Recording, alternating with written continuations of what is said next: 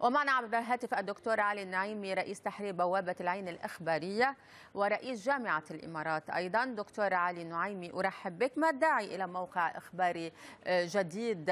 هل الوقت الحالي بحاجة إلى مواقع جديدة؟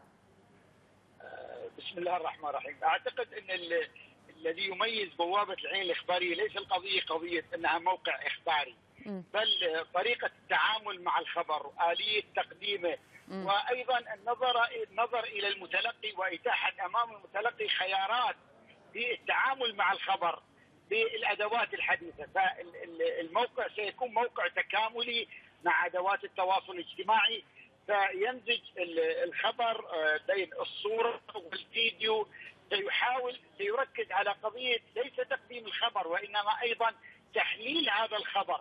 طب يعني هنا السؤال ما الذي سيميزكم في بوابة العين ويعني بوجه من وجهة نظر من؟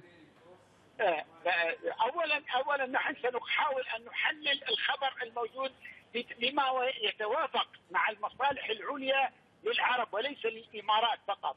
نحن نشعر الآن أن الخبر يتم صياغته صياغة أحيانا قد تكون خلفها أجندات محددة. فنحترم نقدم الخبر للقارئ بموضوعيه ولكن سنعمل على تحليله أيضا بما يخدم المصالح العليا للعرب وبما يحترم القارئ يحترم عقل القارئ وذهنية القارئ.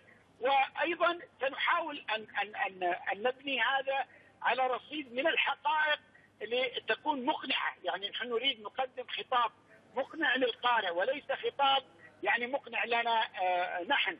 ولهذا سنعمل على مزج الصورة بالفيديو بالحقائق اللي هي تتحدث عن نفسها في هذا الأمر. طيب دكتور علي أخبار عالمية ستكون عبر هذا الموقع أم أخبار عن مناطق ساخنة يعني ستركزون على نقاط ساخنة في دول عربية في منطقة الشرق الأوسط والتي يعني هناك الكثير منها حقيقة في منطقتنا الآن. نحن الذي سيحدد الخبر الذي يتعامل معه هي الجمهور العام اهتمامات الجمهور العام وأولوياته. نحن سنحاول نتعامل مع كل أحداث المنطقة لكن سنعطي للمتابع وللجمهور الخيار في نوعية الخبر الذي يريد أن يتابعه نوعية التحليل نوعية المقال نوعية المدونات أيضا التي يحب أن يستقيها. ولهذا يعني نحن في في الموقع سيكون صاحب القرار والخيار القارئ. القارئ سيكون هو يحدد ستكون لديه مجموعة من الخيارات ينتقي منها ما يناسب. لكن سنعتمد على وسائل التواصل الاجتماعي سنعتمد على التطبيقات الحديثة وسنعمل على أن نقدم ليس الخبر كما قلت وإنما تحليل لهذا الخبر وأيضا نقدم الرأي. وفي موضوع المقال سنحرص على أمرين. اولا على أن نقدم أصحاب المقالات المعروفين الذي لهم جمهور وأيضا سنعمل على تسويق وتعريف القارئ بكتاب جدد لديهم نعم. الرصانة ولديهم الإمكانية ولهم حق أن يقدموا للقارئ العربي.